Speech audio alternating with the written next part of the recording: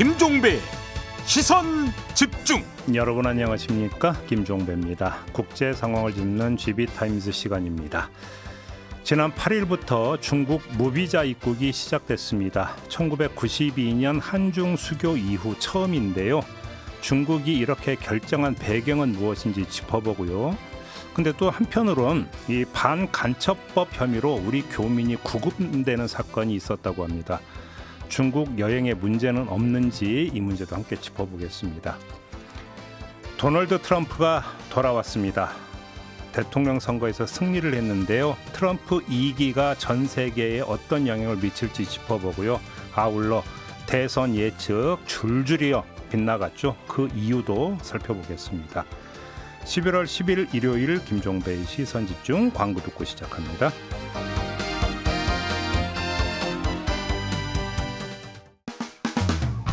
평일에 JB타임즈가 있다면 주말엔 글로벌 타임즈가 있다.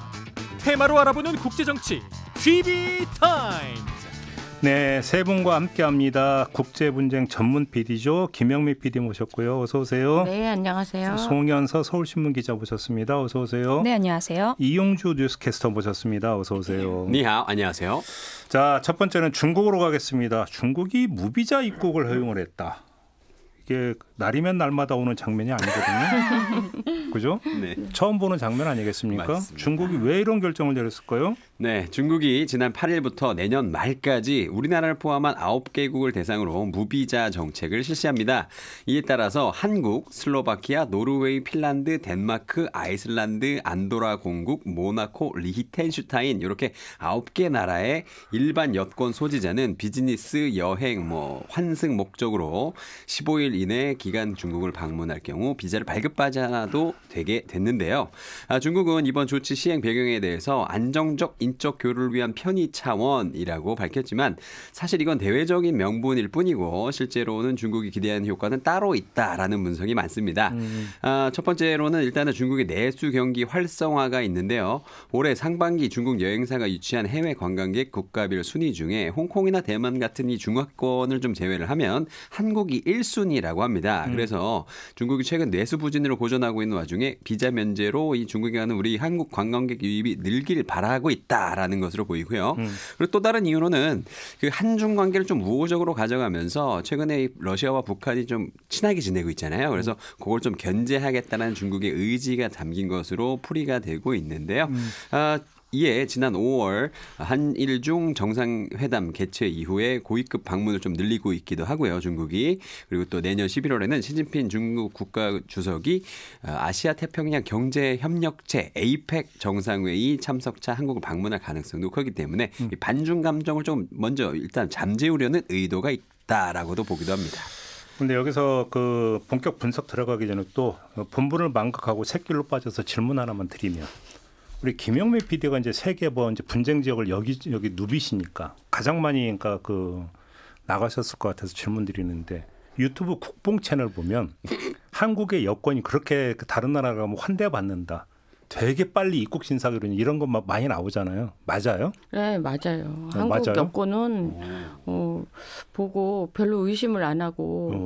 그래서 유럽 같은데 이제 전에는 한국 여권 위조된 경우도 되게 많고 이러다 보니까 예. 이렇게 한국인과 어, 중국인, 일본인 뭐 이렇게 구분하는 방법 막 이렇게 어, 그런 것도 있어요? 어, 뭐래요, 그럼요. 그게?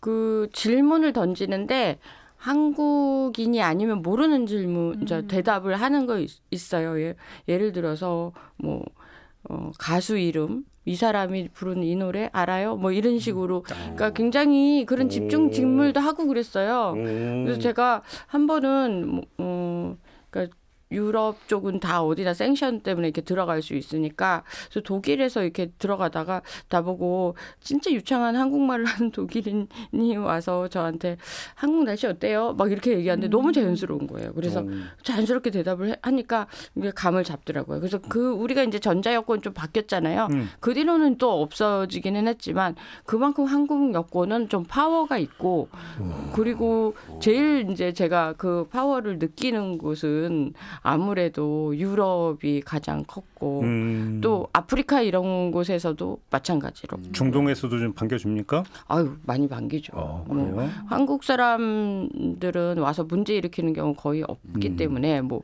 솔직히 우리 한국 분들이 뭐 중동에 가서 불법 체류할 일이 뭐 있겠어요. 그러니까 음. 대부분이 어, 어, 가능하다 이렇게 생각을 하죠. 어. 근데 이제 만약에 이게 여권이 그 위조가 되고 이러면 그러니까 동양인들 다 구분을 못할 수도 있으니까. 음, 음. 근데 이제 전자 여권 나온 뒤로부터는 더 파워가 커졌다라고 어. 전 느끼거든요. 그렇군요. 나 나가봤어요. 어, 뽕이 좀 차오르는 것 같아요, 제가. 아니 근데 그게 또 양날의 칼이에요. 그러다 보니까 이제 이걸 어떻게든지 위조하려고 따라잡으려고 하는 경우도 음. 많고 그리고 솔직히 여권 파워가 그만큼 있다고 국가가 뭐 엄청 잘 나간다라고 보기는 좀 어렵죠. 그냥 불법 체류 를 하는 확률이 적다라고 보는 거니까. 알겠습니다. 여기까지만. 네. 네. 네. 자 그럼 본격 분석 들어갑시다. 정말로 경제 문제가 가장 큰 배경이 이렇게 보세요, 송현석 기자 어떻게 보십니까? 네, 일단 경제 문제가 제일 크다고 보여집니다. 왜냐하면 지금 워낙 저희가 뭐 미국 대선이나 이제 중동 경쟁, 뭐 음. 우크라이나 전쟁 이런 것들에 많이 쏠려 있다 보니까 중국 쪽에 사실상 관심을 많이 두고 있지 않아서 그렇지 음, 중국 경제 시장이 지금 굉장히 상황이 좋지 않은 건 맞아요. 음. 지금 중국 경제가 계속 부침을 겪고 있었던 게 일단 코로나19 팬데믹 때 너무 바닥을 쳤는데 그 원래 페이스를 아직 끌어올리지 못한 상황이다. 음. 그러면서 이제 부동산 시장이 완전히 무너졌는데 중국에서 부동산은 이제 시진핑 주석의 주요 정책 기조 중에 하나죠. 공동부유. 그러니까 다 같이 잘 살자. 이 뜻을 방해하는 주요 요소 중에 하나입니다. 공동부유를 방해하는 게 세 가지가 있어요. 하나가 부동산이고 또 하나가 알리바바 같은 IT 플랫폼이고 나머지 하나가 사교육 업체입니다. 그러니까 왜왜 그러냐? 되게 비슷한 것 같은데. 어머. 어 비슷하죠. 우리랑 네, 많이 비슷하죠. 음, 음. 그러니까 이 세 가지가 모두 잘 살게 하는 게 아니라 잘 사는 놈만 더 잘 살게 하기 때문에 사실 그러니까. 네, 네. 이거를 이제 공동 부유를 방해하는 주요 요소다 해서 굉장히 규제를 했던 거예요. 그러다 음. 보니까 수요가 굉장히 떠- 떨어지고 부동산 시장으로 가는 돈줄이 막히는 돈맥경화 현상이 나타납니다. 음. 그러다 보니까 저희 이제 지난 몇 년간 많이 봤죠. 부동산 업체들이 줄줄이 쓰러져 나가고 지금 중산층 대부분이 부동산 자산에 묶여 있는 상황인데 이것도 좀 비슷하죠. 그런데다가 사실상 반간첩법도 그렇고 뭐 검열도 그렇고 결국은 내부 단속을 좀 철저히 하겠다는 뜻이잖아요. 음. 그런데 내부 단속이 강화되다 보니까 외국 기업들이 중국 내에서 뭘 못합니다. 그러니까 중국이랑 뭘 하려고 하면 너무 까다로워요. 너무 까다롭고 그러니까 그냥 포기하고 나갑니다. 그러다 보니까 외국 자본이 쭉쭉 빠져요. 근데 이렇게 시장이 불안해지다 보니까 이제 사람들은 더더 안전 자산을 찾게 돼요. 그래서 중국 이제 MZ들이 저축만 합니다. 돈이 조금이라도 생기면 저축만 해요. 어, 그건 일본 따라가는 건데. 네, 그러니까 네. 돈이 돌고 이제 시장이 활력을 되찾으려면 소비를 해야 되는데 소비를 안 하는 거예요. 네. 그런데다가 사실 소비를 하려면 저축을 하려면 어쨌든 들어오는 돈이 있어야 되지 않겠습니까? 음. 취업을 해야 됩니다. 근데 취업률이 너무 높아서 발표를 안 할 정도잖아요, 중국 당국이. 근데 취업이 안 되는데 어떻게 소비를 하겠어요? 계속 악순환인 거예요. 음. 근데 이런 상황에서 나온 게 무비자 입국인데 지금 관광객 많이 와라. 내수 시장이 이렇게 죽어 있으니까 예. 외국인들이라도 와서 돈 써라 이거예요. 그런데 어. 여기다가 우려했던 트럼프가 결국 당선이 되지 않았습니까? 예. 그럼 이제 아 중국은 이제 큰일 났다 이런 여론들이 굉장히 팽배해요. 예. 왜냐하면 트럼프가 워낙 단호하기 때문에 지금 중국이 당장 쓸 방법이 없습니다. 그래서 그 전에 한국하고 조금 우호적인 분위기를 만들어서 음. 무역 전쟁이 다시 시작이 되거나 좀 갈등이 생겼을 때 사이가 좀 좋아진 한국한테 도움을 받거나 한국을 통해서 좀 피해를 줄여보려는 계산이 있는 거고 어차피 지정학적으로 봤을 때 한국하고 중국은 약간 왼수 같은데 버릴 수 없는 그런 존재예요. 그러, 그걸 중국도 알고 있습니다. 그러다 보니까 이제 한국하고 조금 뭔가 사이를 조금 붙여보자. 근데 좀 약간 아이러니도 있네. 그래서 관광객 이제 많이 유치하기 위한 차원이라고 하는데 아까 이제 아홉 개 나라 얘기했잖아요. 음. 안도라 공국이나 리텐슈타인이 뭐 인구수가 몇 명이나 된다고 음. 그렇지 않나요? 어, 거기는 왜 무비자한 거죠? 그러니까 이유는 그러니까? 최대한 그 리스크가 적은 음. 나라들, 그러니까 한국은 한국대로 이런 배경들을 통해서 지정학적인 어떤 위치나 이런 경제적인 효과를 노린 거고 나머지는 이제 사실 중국에 들어와서 크게 문제를 일으키지 않을 만한 음, 어, 관광객은 많이 받고 싶은데 그래도 그렇죠. 양질의 관광객을 받고 그렇죠. 싶다. 왜냐하면 음. 뭐 미국이나 아니면 그러니까 사이가 안 좋은 국가들한테 무비자를 풀어줬다가 네. 이게 또 들어왔을 때 어떤 문제가 생길지 모르니까. 예. 그러면 근데 그러면 가게 만들어야 될 거 아니에요. 음. 근데 지금 우리 교민이 반간첩법 혐의로 구금됐다. 무슨 사건입니까 이게? 네. 지난달 30일 그 동, 중국 동부 안, 어, 안후이성 허페이시에 살던 음. 한국 교민 50대 A 씨가 어, 작년 12월 중국 공안 당국의 간첩 혐의로 체, 체포됐다고 이제 어, 발표가 나왔는데 예. 이제 이분이 예, 메모리 업체 근무 당시 음. 반도체 관련 정보를 한국으로 유출했다고 의심을 하고 있다고 합니다. 쉽게 말하면 산업 스파이였다 이건가요? 그렇죠. 음. 그래서 이 사건을 넘겨받은 중국 검찰이 올해 A 씨를 구속한 거죠. 그래서 한국인이 중국의 개정 반 간첩법 적용을 받고 구속된 첫 사례입니다. 음. 처음 이제 2014년에 처음 그 중국에서 반 간첩법이 에, 만들어졌 는데 지난해 4월 중국의 의회 같은 어, 전국 인민 대표 회의를 통해서 이제 개정이 됐어요. 그래서 개정 반간첩법은 그의 이제 7월 1일부터 시행이 됐는데 이걸로 이제 처음으로 한국인이 구속이 된 거죠. 근데 반간첩법은 말 그대로 간첩 혐의를 받는 음. 사람 이제 외국인들이나 또 내국인들을 상대로 어 구속을 하겠다. 형법으로 처벌하겠다는 얘기예요. 예. 근데 우리 사회도 뭐 많이 들어왔지만 그래도 이제 옛날에 간첩에 대한 그런 어떤 이른바 그- 조작 간첩 말씀하시려고 그러는 그렇죠. 거죠? 음. 예. 그이 간첩이 주관적일 확률이 높은 거예요. 어. 그러니까 법은 이때 간첩의 기준이 음. 어디에 속하냐 이 이게 굉장히 주관적이다. 네. 특히 이분 이제 메모리 업체 근무 반도체 관련 정보 음. 저는 이걸 중국에서 어떤 기술을 개발했길래 그걸 한국으로 가져오려고 했을까 되게 궁금하거든요. 아니요 반대예요. 그러니까 이분이 삼성에서 근무를 하다가 중국 업체 스카우트를 받아서 넘어가신 분이고 그냥 중국 기업의 직원인데 체포가 되신 거거든요.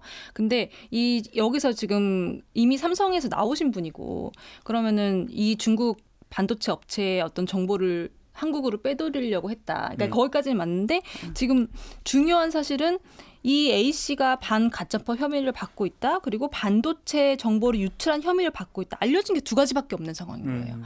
그러다 보니까 말씀하신 것처럼 이제 현지 주재원들은 그럼 어느 정보까지는 괜찮고 음. 어, 어느 정보까지는 안 되는지를 전혀 알 수가 없고 음. 이전, 이전 사례를 그래서 살펴봤어요. 이전 사례를 살펴봤더니 지금 중국의 그 방첩법부터 시작해서 현재 개정된 반간첩법까지 이제 이게 적용된 사례 이후에 일본인만 17명이 구속이 됐거든요. 네. 총 예. 17명 예. 구속이 됐는데 이 음. 중에 한 명은 수감 중에 사망을 하셨고 뭐 현재 여섯 명은 아직 구속 수감 중이고 나머지는 석방이 됐는데 이분들 중에 한 분도 한 명도 무혐의를 받은 사람이 없 습니다. 단 한 명도. 그래서 이 간첩법을 어디서부터 적용하고 이 기준은 중국 정부가 갖고 있기 때문에 이거를 어떻게 에, 대응을 해야 될지를 잘 모르는 거죠. 코에 걸면 코골이다 이렇게 간다는 거죠 그렇죠. 지금. 음. 그렇죠. 네. 일하는 사람들 입장에서는 일본- 조심하자니 일이 안 되고 예. 일을 하자니 어디까지 조심해야 될지 모르는 상황인 아 거죠. 그래요? 음. 작년에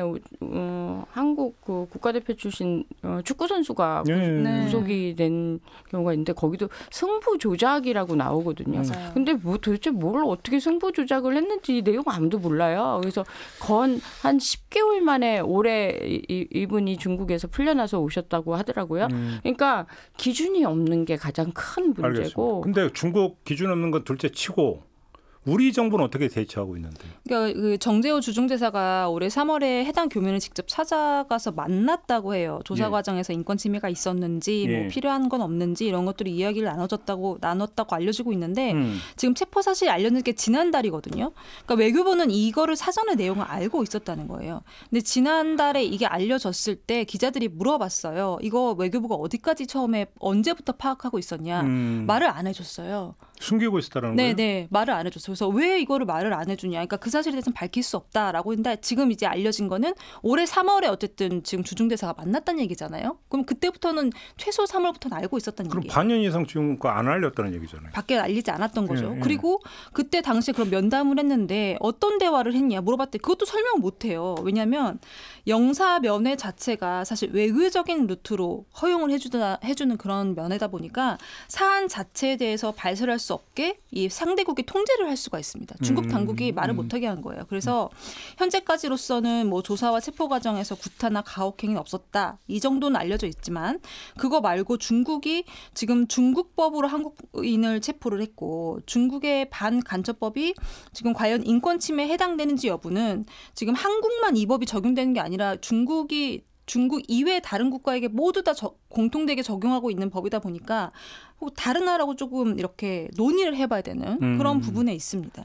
아니 근데 그래서 이 간첩법 이렇게 세게 세게 적용하고 뭐 이러는데 무비자인들 아, 중국에 가서 그러니까 어떻게 기준을 모르다 보니까 내가 무비자로 관광객으로 갔다 하더라도 어, 결심만 하면 언제든지 간첩법으로 처벌받을 수 있는 거예요.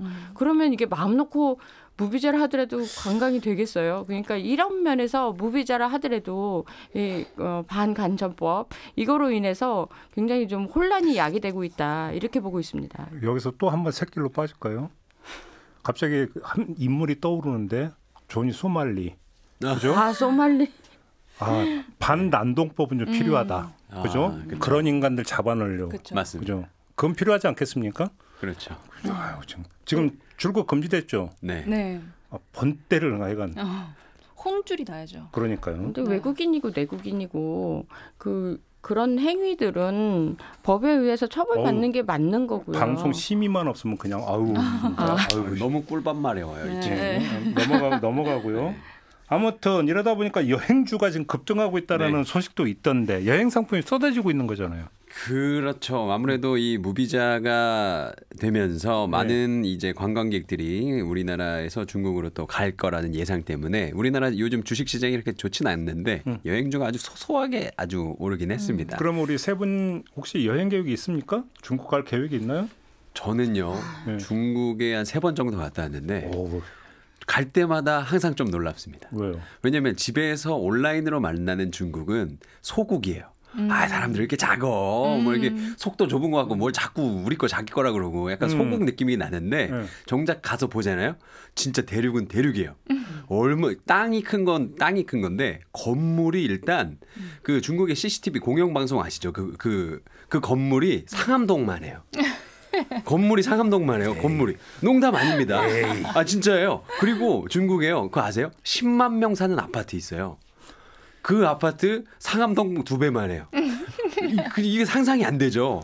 저도 가서 보고 알았어요. 헉, 이게 진짜 스케일이구나. 그럼 도대체 그 종사자가 몇 명이란 얘기예요? 거기도 몇십만 명이 들어가 그럼 회사 안에서 저기 뭐냐면 뭐 타고 다니나요? 네, 실제로 뭐 타고 실제로 다녀요. 타고 다니겠죠. 어, 근데 그래요? CCTV는 대단한 게 아프리카 같은 데 이렇게 취재 가면요. 한국인 얼굴도 보기 힘든데 CCTV 특파원들은 각 나라보다 다 있어요. 음. 그것도 한두 명이 아닌 거예요. 네. 그래서 도대체 이 인구들은 도대체 어디서 나온 거야. 취재 인력이니까 그 그냥 막 나올 수도 없고 우리는 특파원이 한 명 그러니까 뭐 남아공이나 뭐 이런 데 살짝 있고 뭐 그럴 정도인데 다 있어요. 근데 네. 그분들도 그런 얘기 하시더라고요. 자기네들도 회사에서 길을 잃는다고. 네. 너무 많아서 사람이.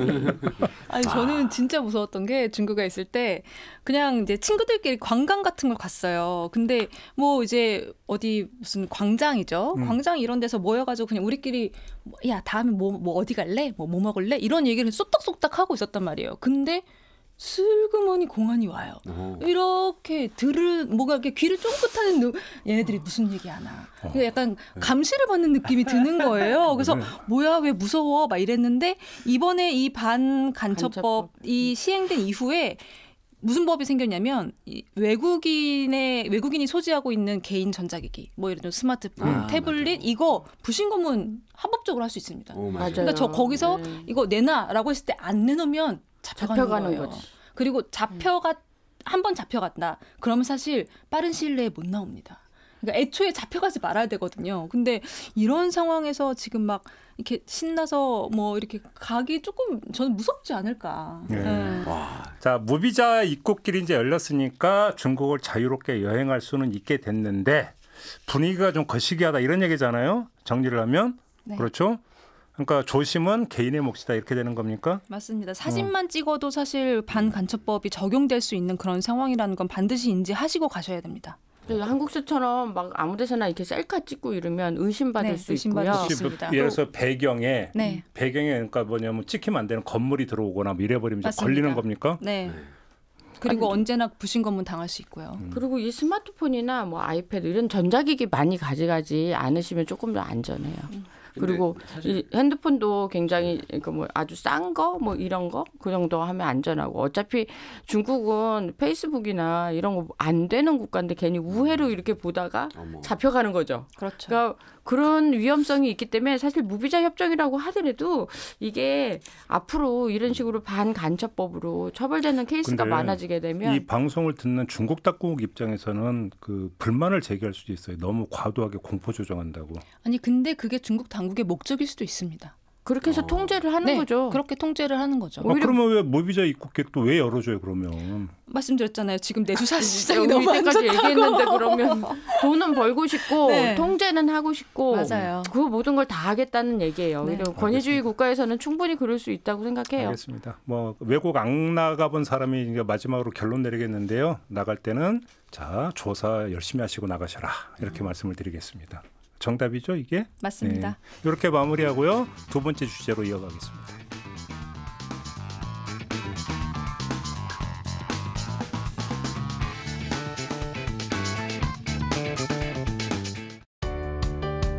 때로는 날카롭게, 때로는 삐딱하게, 그러나 매 순간 섬세하게 시선이 필요한 우리 사회 곳곳을 살펴봅니다.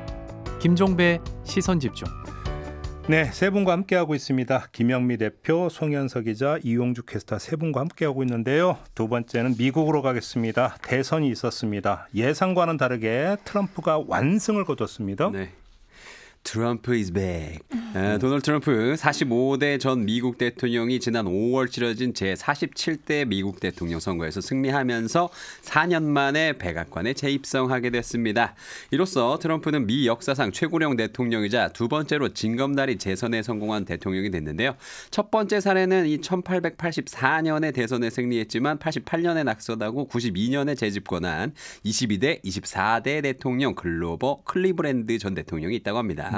자, 어쨌거나 공화당 대통령 후보인 트럼프 전 대통령은 전체 선거인단 총 538명 중에 과반인 270석을 확보를 하면서 민주당 대통령 후보 카멜라 해리스를 이기고 대통령이 당선됐는데요. 네. 지금 이 시각에도 사전 우편 투표를 막 개표를 하고 있기 때문에 정확한 선거인단 수는 조금 틀릴 수 있습니다. 근데 뭐 어차피 대선은 결정된 거잖아요. 맞습니다. 뭐 그건 뭐 더 이상 중요한 것 같지는 않고. 네. 그래서 않습니까? 이 음. 트럼프 전 대통령은 이 대선의 승부를 좌우한다는 7개 경합주 펜실베이니아, 조지아, 노스캐롤라이나, 위스콘신, 미시간, 애리조나, 네바다에서 전부 승리하면서 애당초 우리가 조박빙의 승부가 될 것이라고 예상했던 것과는 다르게 손쉬운 승리를 거두면서 초대박을 터뜨리게 됐습니다. 바로 그걸 짚어야 되는데 네. 다수의 여론조사 기관의 여론조사 결과는 초박빙 뚜껑 열어봐야 안다고 했는데 열자마자 나왔습니다. 결과는 결국은 여론조사가 참사가 발생을 한 건데 네.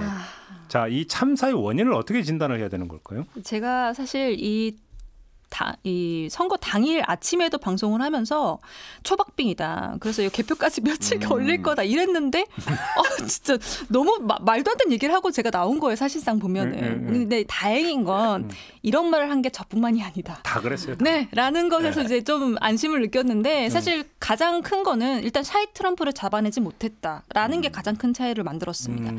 현지에서 가장 신뢰도가 높은 여론조사를 꼽히는 게 음. 뉴욕타임스랑 시에나대 여론조사거든요. 음. 여기서도 사실 대부분 동률이나 초박빙이 나왔었고요.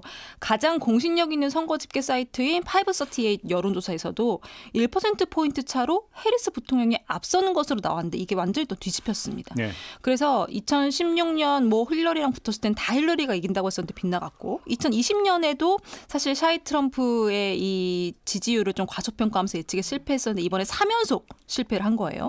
근데 사실 이번에는 이 2016년 20년에 어떤 그 실패 의 여론조사 기관들도 실패 경험이 있었기 때문에 노력이라는 걸 했습니다. 어떤 노력을 했냐? 뭐 예를 들면 고졸 이하 백인 이렇게 인종이나 학 학력이나 성별로 이렇게 좀 세분화해서 좀 조사를 많이 했어요. 근데 일단은 트럼프 지지 성향이 강한 고졸 이하 유권자들의 여론조사 응답률이 상대적으로 굉장히 낮았다.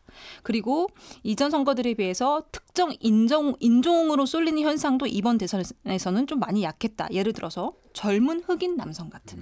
근데 이쪽은 원래 민주당 지지자들이 많았는데 이번 대선에서 차이 트럼프로 많이 돌아선 층이거든요.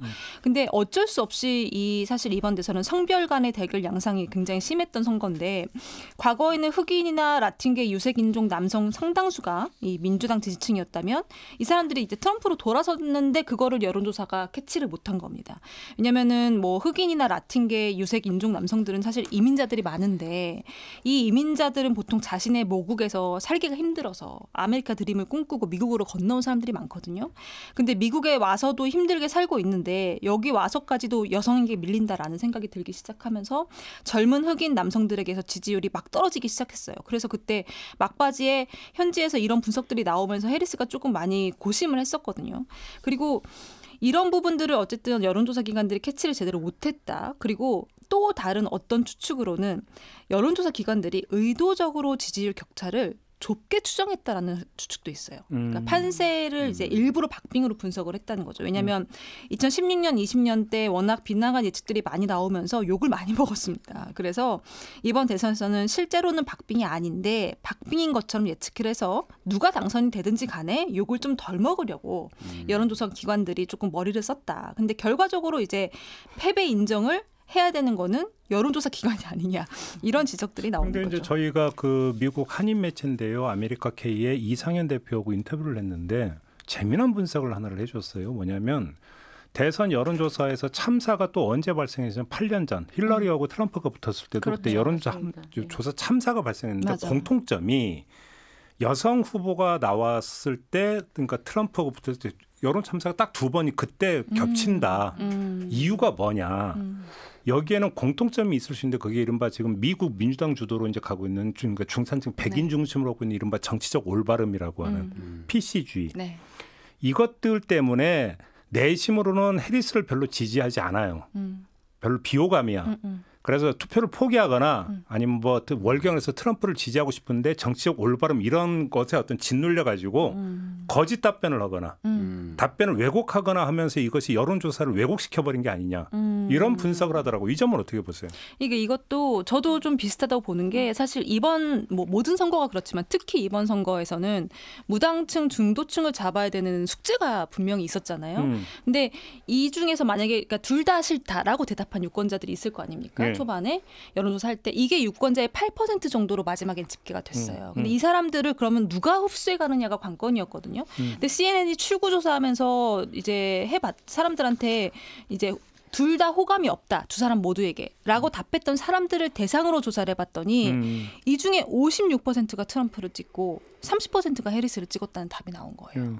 그러니까 이런 것들을 보면 아까 말씀하신 것처럼 왜 하필 어 그 트럼프 그러니까 해리스는 좀 별로 마음에 안 들지만 그래도 막판에 트럼프를 선택을 했느냐? 저는 결과적으로는 경제 그 안에서도 인플레이션 이게 저는 정답이라고 네. 보거든요. 그러니까요. 먹고 사니즘이 결국은 여기에도 이제 결국 투입이 됐다는 거죠. 근데 이제 미국이 자국 이익주의가 훨씬 더 어필하는 사회가 되었다 그렇게 음. 보여지고 샤이 트럼프라는 게 그런 거예요. 나는 정말 이렇게 겉에서 봤을 때 내가 트럼프를 지지한다고 하면 안 좋게 비칠까봐 나는 해리스를 지지한다라고 말은 하지만 마음속은 아 그래도 트럼프가 되어야 뭐 중국이라든지 뭐 이런 여러 나라 안보 문제 특히 이런 부분에서 조금 더 힘을 쓰지 않을까라는 게 내재가 내재되어 있다는 얘기인 거죠. 그래서 뭐 여성이라든지 그다음에 유색 인종이라든지 이런 차별성을 어필하는 건 되게 부끄러운 일이라고 생각을 하, 는 거죠. 근데 음. 속으로는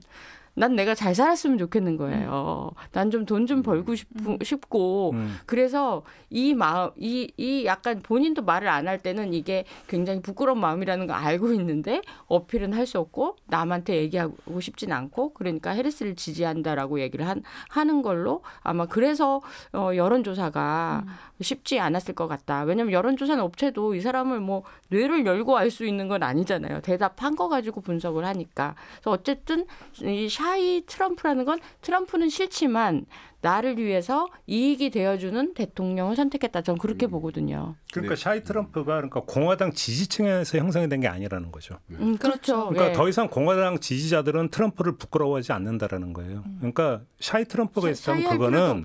공화당 외부, 음. 민주당 일각이나 무당 중도층에서 그러니까 맞습니다. shy 트럼프가 있었던 거지 음. 공화당 안에 있었던 게 아니다. 그런데 이걸 여론조사에서 캐치를 해내지 못했다 네. 이런 얘기가 되는 거죠. 맞아요. 이민자들 중에서도 트럼프가 이민자를 굉장히 배척함에도 불구하고 일단 미국에 안착을 하면 이 사람이 나의 경제적 이익을 위해서 해줄 대통령으로 이제 인정을 해주는 거죠. 그러니까 오히려 어, 이민자로서 차별받고 그런 입장에 있는 분들이 오히려 더 트럼프를 지지할 수도 있는 거라고 보, 보여지거든요. 네. 역시 먹고 사는 짐이 가장 중요하다. 맞습니다. 음, 이게 요번에도 뭐 여지없이 좀 드러났고 그렇죠. 그래서 사실은 이전에 어떤 그 선거 문법에 따르면 해리스를 지지했어야 되는 음. 그래서 뭐 라틴계라든지 그렇죠. 뭐 흑인 여성이라든지 노동자. 일부가 음. 결국은 이탈해 갔던 것들도 결국은 여기서 비롯되는 거다 이런 분석을 좀 많이 하더라고요. 네. 그건 뭐 많이 나왔으니까 저희가 여기서 되짚어 볼 필요는 없을 것 같고 아무튼 이제 몇 가지 현상이 결국은 경합주에서 트럼프가 싹쓸이했다는 것도 지금 조금 아까 막 이야기했던 네. 음. 그 맥락에서 좀 이해를 할 수가 좀 있을 것 같고요. 네.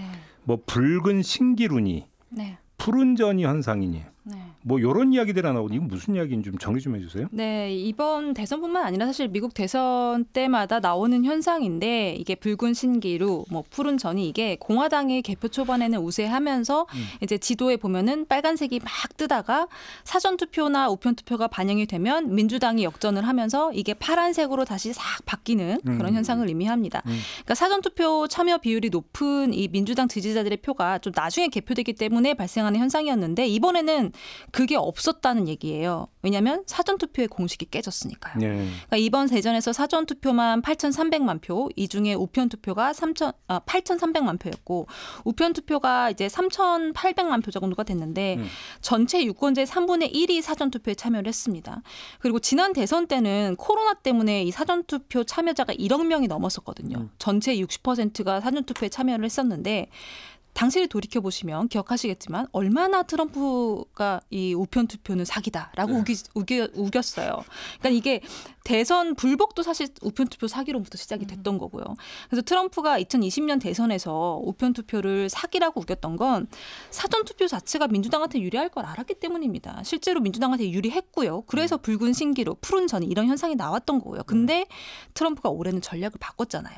어떤 방식이든 좋으니까 무조건 투표하라고 했어요. 지지 자들한테 이 방법 가리지 말고 사전 투표할 수 있는 사람 무조건 하라고 했습니다.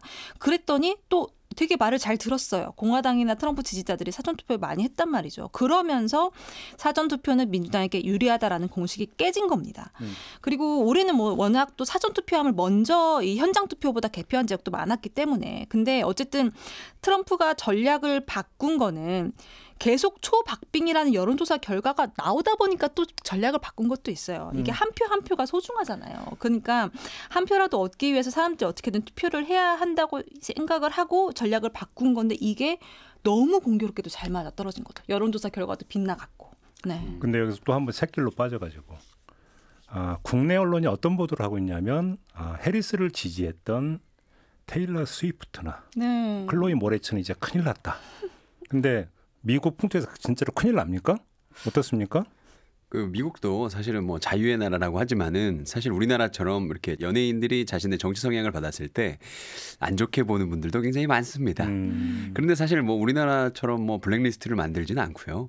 사실은 좀 조금 봐주는 경향이 있기는 해요. 그래서 그래요? 크- 크게 심각한 정도는 아니다라고 네. 봅니다. 아무튼 근데 일론 머스크는 완전 신이 날대로 났던데요. 그렇죠. 아, 그 모든 들고, 들고 들어갔잖아요. 어, 맞아. 아니, 아니 솔직히 헐리우드의 대부분의 연예인들이 이번에 다 해리스를 지지했거든요. 맞아요. 기업인이잖아요. 네. 기업인이 막 그래도 돼요? 그 아니 그러니까 이게 대한민국 정서로는 이해가 좀 민주, 민주주의 국가에서 내가 직업이 뭐든 내가 저 사람을 지지한다라는 말을 하는 사회가 아니, 정상인 제가 사회인데 왜 그러냐면 그 사주가 정치적 성향을 그래 노골적으로 드러내서 개입을 했다가 음. 결과가 아닌 걸로 나왔을 때 올 수 있는 경영 리스크 때문에 제가 여쭤보는 거예요. 저희가 그 맥도날드 얘기했잖아요. 음. 그래서 우리는 파란색도 음. 빨간색도 아닌 황금색이다. 그러니까 그래서 저번에 그것도 한참 얘기를 했었지만 역시 그 트럼프의 새로운 정부는 본인들의 이익이 된다면 자기를 반대했던 사람들조차도 음. 얼마든지 환영하고 음. 웰컴을 할 수 있죠. 문제는 이 사람이 나를 지지했냐 안 지지했냐보다 나한테 이익이 되는 사람이냐. 음. 그게 중요하다고 저는 생각을 하거든요. 그러니까 뭐 연예인들이 뭐 나 말고 다른 후보를 지지해서 그땐 좀 괘씸했지만 대통령 되고 보니 대통령 되면 좀 마음도 여유로워지지 않겠어요? 근데 이 사람 특히 연예인이야. 또 유명해. Why not? 이렇게 될 수도 있는 게 트럼프 정부예요. 근데 또 한편으로 우리 송현석 기자가 언론계에 계시니까 원래 워싱턴 포스트하고 뉴욕 타임즈는 전통적으로 입장 밝혀왔잖아요. 네. 우리는 아무개를 지지한다. 그렇죠. 음. 요번에 발 뺐잖아요. 네. 아, 그 처음 있는 현상 아니었습니까? 완전 처음 있는 현상이었고 그래서 정말 욕도 많이 많이 먹었고 연예인들 너무 대비되지 않나요? 네 대비가 되기도 하고 근데 이제 결국은 결과 이제 딱 나오고 나니까 바로 축한다 음. 막 트럼프 네. 세상이 됐어요. 네, 진짜 저 깜짝 놀랐어요, 나오고. 정말. 그리고 다른 제가 이제 이번에 취재를 하면서 음. 다른 언론사들 세계 주요 각국 언론사들이 이 트럼프의 당선을 어떻게 보는지 음. 그러니까 그거를 어떻게 볼 수 있냐면 각 언론사의 일면을 보면 알 수 있습니다. 맞아요. 네, 일면을 보면 알 수. 있어요. 그래서 뭐 예를 들면 아프리카, 호주, 영국 그리고 우리나라 언론사들도 다 해서 그 일면을 싹 다 비교를 해봤어요. 음. 그랬더니 뭐 이제 일부 국가에선 대부분 이제 많이 보셨을 그 손가락 사진 음. 네. 그거를 이제 일면에 많이 썼어요. 저는 이 사진이 그 트럼프가 총격을 받았을 때 그 미국 국기 앞에서 찍은 사진 음. 다음으로 이제 유명해진 사진이 됐다라고 보여지고 대부분의 그걸 썼는데 예를 들어서 영국의 가디언 그리고 또 영국의 일부 좀그 보그 진보 성향의 언론 음. 이런 데들은 그러니까 화가 난 트럼프의 얼굴을 어. 트럼프가 당선이 됐는데 음. 다들 축하한다고 했는데 그런 얼굴이 실린 그 이미지를 만들어서 미간 찌푸리고 막 입, 네 맞아요. 음. 이- 이네 내밀 되어 그- 있고 그리고 그거를 이제 그 자유의 여신상에 합성을 해 가지고 만든 그런 사진을 일면에 어. 씁니다. 음. 이제 그런 걸 보면 아 이게 뭔가 이제 언론들도 어, 이 결과에 대해서 누구는 기쁘고 누구는 기쁘지 않고 예. 알겠습니다. 뭐 연예인 언론계 얘기했는데 세계 국가 네. 정부의 어떤 입장은 어떻게 나오고 있습니까? 아 일단은 다들 유럽 같은 경우에는 좀 큰일 났다라는 분위기가 근데 있고요. 이제 저 트럼프 당선되고 네. 다들 큰일 났다 분위기인 거예요. 유럽이 특히 그렇죠. 음. 왜냐면은 일기 때 막 나토랑 우리 친하게 안 지낼 거라고 그러고 탈퇴할. 거라고 그러고 어. 네, 많이 힘 그리고 막 기후 협정 탈퇴하고 그랬으니까 음. 다양한 게 있으니까 좀 그렇죠. 근데 중동이나 아프리카도 네. 마찬가지더라고요. 그렇죠. 근데 유럽은 다른 거 몰라도 우크라이나 전쟁 이제 끝내주지 않을까 내심 기대하고 있는 거 아닌가요? 근데 우크라이나 입장에서는 더 이상 추가 지원이 없을 거라는 추측이 음. 가장 우세하다 음, 보니까 트럼프 당선되고 완전 우크라이나 정부 지금 난리가 났어요. 그러니까요. 당연히 그리고- 그러겠죠. 그러니까 전쟁이 끝나는데 아 우리가 지고 끝나는 패전국이 되고 끝나는 건 또 다른 문제인 거예요. 음. 그러니까 트럼프가 당선이 되면 패전국으로 될 수밖에 없겠다라는 그 생각을 하니까 우크라이나 입장에서는 전쟁이 끝나되 슬픈 일인 거고. 그건 뭐 또- 우크라이나는 당연히 그런데 음. 주변에 다른 나라들은 되게 그래요. 사실 피로증이 좀 있었잖아요. 그렇죠. 그리고 음. 러시아 같은 나라는 그러면은 그러니까 저희 기사도 국내에서는 뭐 푸틴과 네타냐후는 웃고 있다 이렇게 나오지만 사실상 그 러시아 현지 내부 분위기를 보면 푸틴 입장에서는 트럼프가 들어오면은 뭐 전쟁을 끝내줄 수 있으면 좋을 거라고 생각할 수 있지만 사실 반대로 보면은 본인들이 원하는 어떤 특별 군사 작전이라는 목표를 완전히 달성하지 못한 채 전쟁이 끝나버리는 걸 수도 있거든요. 음. 그래서 대선 하루 전에 크렘린궁에서 뭐라고 발표가 나왔었냐면 트럼프가 당선이 돼서 만약에 전쟁을 강제로 끝내려고 한다면 케네디처럼 암살당할 수 있을 거야라는 경고의 메시지까지 나왔었어요. 그런 얘기까지 나왔어요? 네, 크렘린 어. 궁에서 직접 그렇게 얘기를 했습니다. 그러니까는 러시아 입장에서도 사실 마냥 기뻐하기는 조금 어렵지만 당연히 우크라이나에 비해서는 조금 아 안심일 음. 수는 있겠지만 네, 네. 러시아 분위기 좀 다르다. 어. 네. 근데 또 네타냐후 이스라엘 총리 같은 경우에는 트럼프가 당선되자마자 가장 먼저 또 전화를 해서 제일 신났어요 네, 지금. 20분 동안 또. 통화를 또 다더, 다정하게 나눴다 음. 그래요. 트럼프는 그 이스라엘 무조건 지지 아닙니까? 아 뭐, 근데 이번에 그 당선되기 전에 이미 얘기를 했다고 이제 보도가 나왔는데 음. 그게 이런 내용이었죠. 네타냐후한테 이게 본인이 될 걸 알았던 거예요 트럼프는 내가 대통령이 되면 너 1월 나 취임하기 전까지 전쟁 끝내 어 그런 얘기 했대요. 네네 확실히 오. 그런 얘기가 나왔습니다. 어, 그러니까 세계 내- 평화의 수호자네 트럼프가 지금 보니까. 그거밖에는 기대할 게 없어요 지금 트럼프가 와서 아니 돌아와서. 우크라, 이나 전쟁도 끝나고 네. 끝내고 네. 가져진도 끝내면 네. 아이가 이제 끝내면 어떤 그 내용은 둘째치고 네. 총성을 멈추게 한다라는 거잖아요. 그렇죠. 아니, 근데 그 총성이 멈추는 게 트럼프와 미국의 이익이 되느냐 그렇죠, 그거에 물론. 따라 달라지는 거죠. 총성이 멈춘다고 다 멈춘 게 아니라 음, 음. 그 기- 끊임없이 계산을 할 거잖아요. 네. 트럼프 입장에서.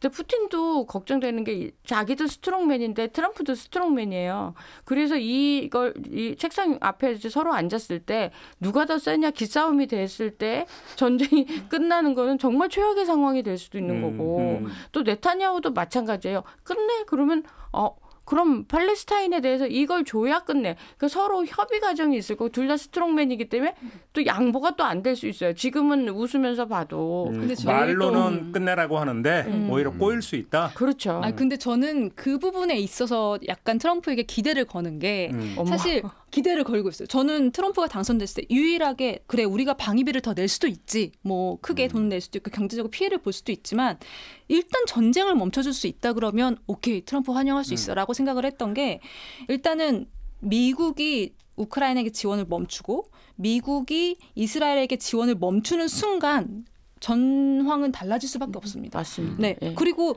이거를 지원을 멈추게 되면 미국 입장에서는 어쨌든 지출이 덜 나가게 되는 거거든요. 음. 그거를 다 지금 내수를 회복시키고 인플레이션을 가라앉히는데 도움을 줄 수 있기 때문에 음. 그래서 저는 더더욱 트럼프가 양보하지 않을 거라고 생각해요. 전쟁을 아니, 멈추는 그러니까 거에 지금 대해서. 이제 그 트럼프 당선 후에 우리 국내 주식시장에서 지금 트럼프 수혜주 중에 하나가 건설 토목주라고 아. 트럼프가 취임하자마자 우크라이나 전쟁 끝내버리면 음. 이제 이제 재건에 들어가는데 특수 발생하니까 음. 건설 토목주는 이제 그 아- 길이 열렸다 지금 그래서 주식시장이 먼저 움직이고 있다는 거죠. 음. 반응은 이렇게 나오고 있다는 거예요. 음. 그 재건도 돈이 있는 나라에 재 그러니까 도- 어느 정도 좀 현금 유동률이 돼야죠. 우크라이나 지금 당장은 좀 쉽지 않을 것 같고 지금 저는 제가 취재를 시작한 25년 전부터 지금까지 봤을 때 지금이 가장 strongman이 많은 시대를 맞이한 것 같아요. 그래서 뭐 음. 시진핑도 strong,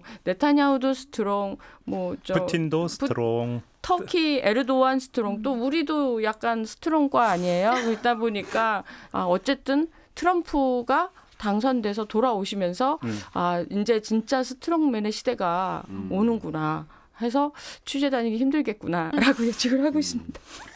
그럴수록 취재를 더 하셔야죠. 예, 허리가 아프지 않는 트럼프가 지금 노리고 있는 게 이제 노벨 평화상이잖아요. 그렇죠. 예, 네. 되게 얼마나? 하시더라고요. 트럼프의 그때. 그 인생의 숙원 중에 하나인데 그렇죠. 만약에 정말로 이렇게 전쟁들을 다 멈추고 음. 그러면 노벨 평화상 가능성 있을까요? 어, 줘야죠. 아, 줘야요? 아니, 아니, 줘야죠. 아, 왜냐면 약간 넘어갔는데 저쪽으로? 아니 왜냐면 샤이 트럼프 본인 아닙니까? 아닙니다. 저는 지금 상황에서 정말로 트럼프가 본인의 공약대로 전쟁을 멈출 수 있다. 전쟁은 사람이 죽는 거잖아요.